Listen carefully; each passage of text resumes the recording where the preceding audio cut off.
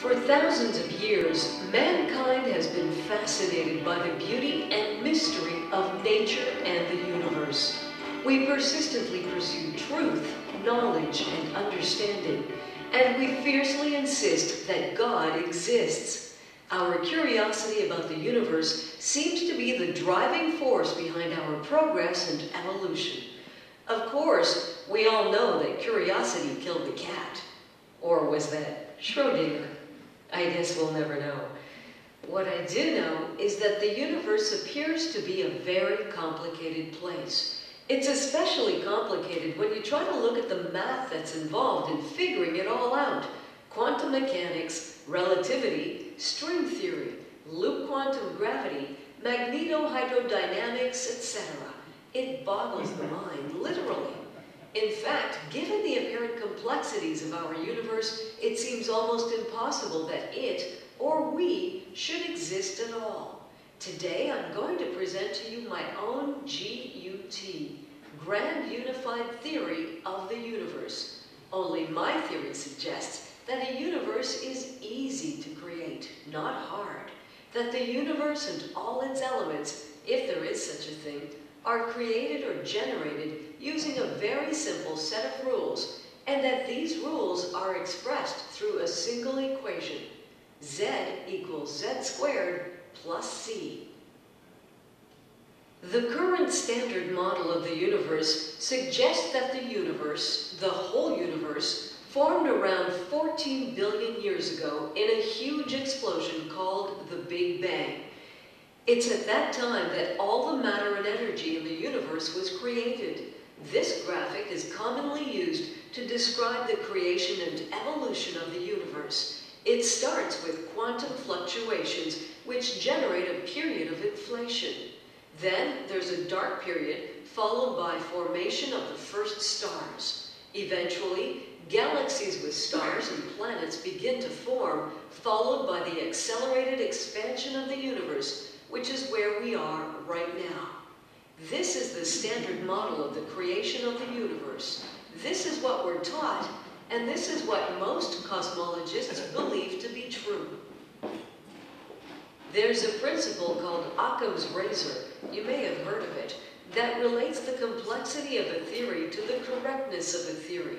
It goes something like this. The explanation of any phenomenon should make as few assumptions as possible, eliminating those that make no difference to observations and predictions of a theory or hypothesis. In other words, the simplest solution is probably the best and therefore most correct solution. This, I believe, is a good basis with which to begin a theory.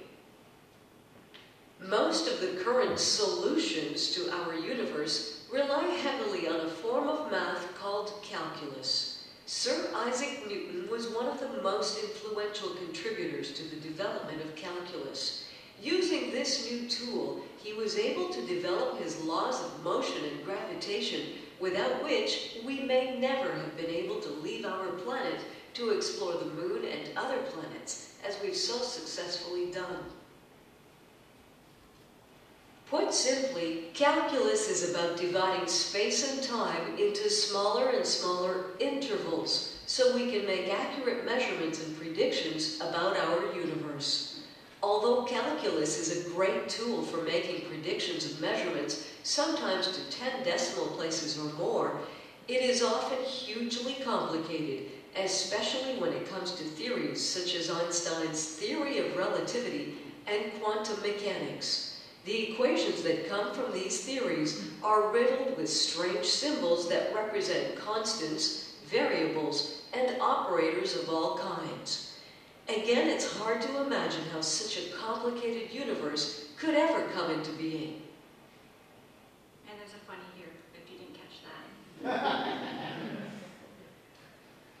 Here's an example of something you'll find when you study quantum mechanics. It's called Schrodinger's equation, and it describes how the quantum state of a physical system changes over time.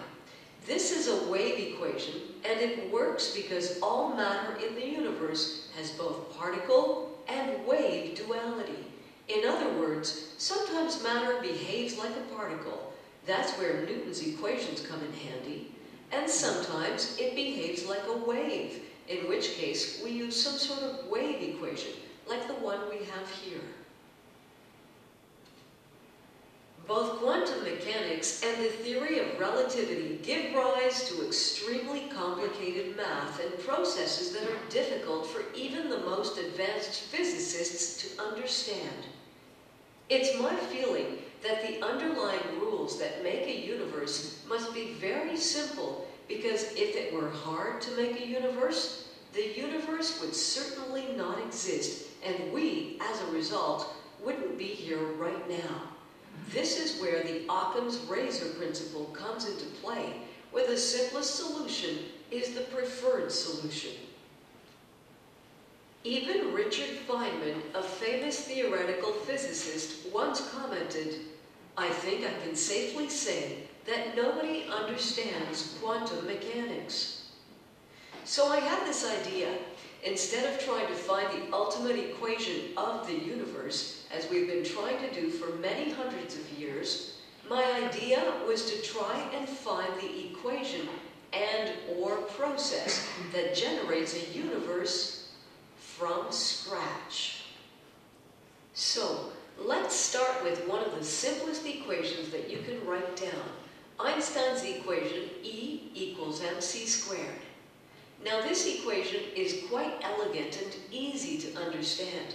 In English, it means that energy equals mass times the speed of light squared.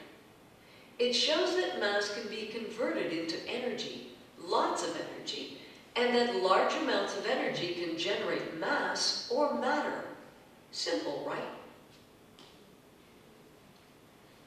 The equation of the Mandelbrot set is really one of the simplest equations that you can write down. In fact, it's even simpler than Einstein's equation E equals mc squared. You'll also notice, in the case of the Mandelbrot set equation, that z is on both sides of the equation. What this means is that the output of the equation is being fed back into the equation, thus setting up a positive feedback loop or system. It's this feedback system that gives rise to the endless variety of forms and images that I'll be presenting to you.